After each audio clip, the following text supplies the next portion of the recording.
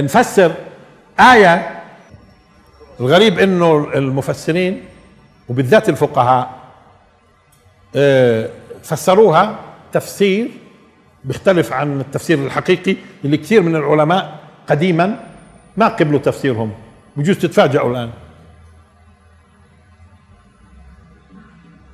الآية اللي يستخدموها الفقهاء في قضية قاطع الطريق. إنما جزاء الذين يحاربون الله ورسوله ويسعون في الأرض فسادا إيش؟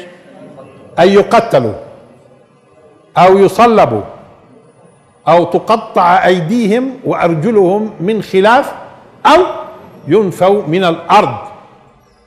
ذلك لهم خزي في الدنيا ولهم في الآخرة عذاب عظيم. شو رأيكم؟ هذه مش صحيح. إنها في قطاع الطرق. مش صحيح؟ أنا اللي بقول مش صحيح. علماء من أول يوم. كيف حولوها لقطاع الطرق؟ ممكن نشوف. ولكن حتى تعرفوا في مين نزلت اولا. خليني أقرأ لكم شوي. حتى تعرفوا في مين نزلت. هذه. وحتى تعرفوا تعرفوا شو الحكم بكرة.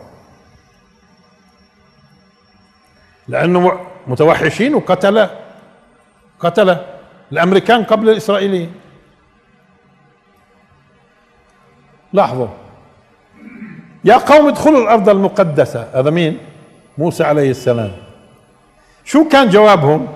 ثم التيه في الأرض. هاي انتبهوا الآن.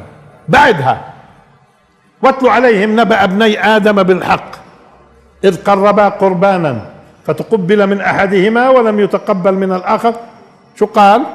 شو قال لاخوه قتلوا شو بيجي بعدها مباشرة؟ من أجل ذلك كتبنا على بني إسرائيل. ليش بني إسرائيل؟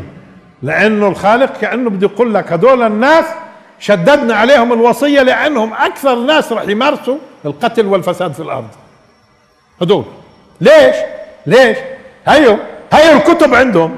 أنو عنده في الدين كتب زيهم؟ أنو عندهم كتب دين مقدسة زيهم تقدس القتل؟ من أجل ذلك دليل على انهم فعلا هم على فكرة. على ضوء فلسفتهم التع... الأمم على فكرة التي تحرف الدين الحق خطيرة. الأمم التي تحرف الدين الحق خطيرة. يعني لو مخترعين دين من عندهم الساعة أقل اللي بيكون دين حق في أصله ثم يحرف يحرف خطير. من أجل ذلك كتبنا على بني إسرائيل أنه من قتل نفسا بغير نفس أو فساد في الأرض فكأنما قتل الناس جميعا ومن أحياها فكأنما أحيا الناس جميعا. ولقد جاءتهم رسلنا بالبينات ثم إن كثيرا منهم لاحظها يعني جتهم جاهم من الله البينات والأوامر في موضوع القتل والإفساد. عن مين الكلام. عن مين وابتداء من لما بدأ في قوله يا قوم ادخلوا. وبعدين موقفهم من الدخول والتيه وبعدين واتلوا عليهم. ومن أجل ذلك كتبنا على بني إسرائيل أنه من قتل نفسا بغير نفس أو فساد في الأرض فكأنما قتل الناس جميعا. ومن أحياها فكأنما أحيا الناس جميعا. ولقد جاءتهم رسلنا بالبينات ثم إن كثيرا منهم بعد ذلك في الأرض لمسرفون إنما جزاء. الكلام عن مين؟ متصل الكلام ولا مش متصل؟ وين قطاع الطريق؟ وين المسلمين في الموضوع؟ يحاربون الله ورسوله ويسعون في الأرض فسادا. هذول بتكلم عن هذول. والكلام الصريح عن مين هون؟ الصريح عن اليهود بني إسرائيل. إنما جزاء الذين يحاربون الله ورسوله ويسعون في الأرض فسادا. ان عم بحدد لك الآن على فكرة خياراتك معهم. عم بحدد لك خياراتك معهم بعد ما شفت اللي شفته منهم. يقتلوا أو يصلبوا أو تقطع أيديهم وأرجلهم أرجلهم من خلاف أو ينفوا من الأرض. هني أرض اللي لازم ينتفوا منها. افهموها؟ آه اذا اذا معناته إيش يعني قطاع الطرق هذول المسلمين؟ هذا هو القضية.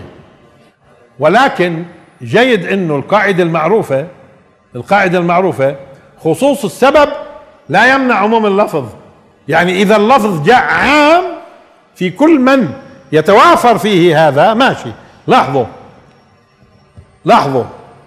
قاطع الطريق. قد يقطع الطريق. يعني إحنا بنرد على الفقهاء اللي قالوا إنه هذه خاصة بقاطع الطريق شيء عجيب. الآيات واضحة ومتسلسلة. آيات واضحة متسلسلة قاطع الطريق قد يقطع الطريق بقصد أخذ المال ولكن ما يخطر في باله لا معاداة الله ولا رسوله.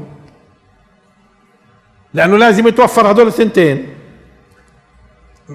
إيش الثنتين؟ إنما جزاء الذين يحاربون الله ورسوله. إيش يعني يحاربون الله ورسوله؟ يعني يحاربون الدين.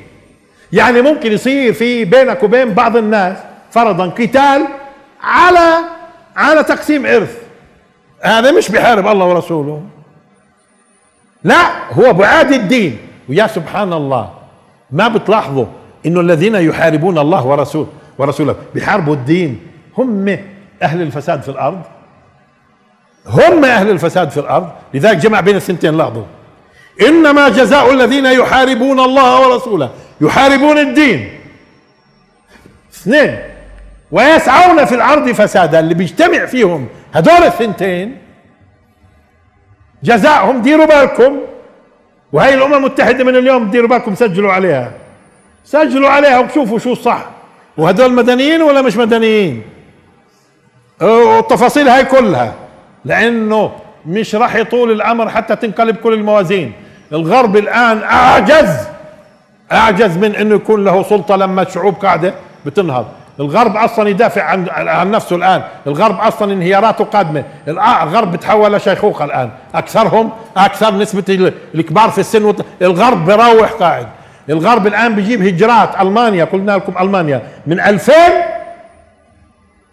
من 2000 كانوا مقدرين ل 2000 كنوا و30 تحتاج بمعدل 750 ألف سنوي يهاجروا لداخلها مشان تظل محافظة على وجودها.